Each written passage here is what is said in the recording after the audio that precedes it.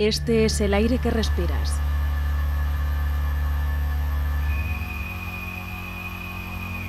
En ciudades como Madrid, el 80% de la contaminación proviene de las emisiones de los coches. Este humo provoca más muertes que los accidentes de tráfico. Todos tenemos derecho a respirar aire limpio. ¿Sabías que con un coche eléctrico ahorras dinero, gastas menos en mantenimiento y dejas de ensuciar el aire que respiramos? El coche eléctrico no es solo un ahorro para tu bolsillo, es la protección para el planeta.